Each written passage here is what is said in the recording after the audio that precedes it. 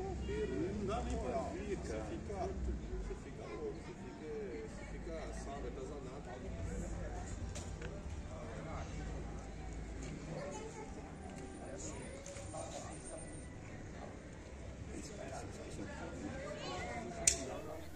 Jornal de Piracicaba, sou a Dani Fernanda, estamos aqui no, na rua é, Paulo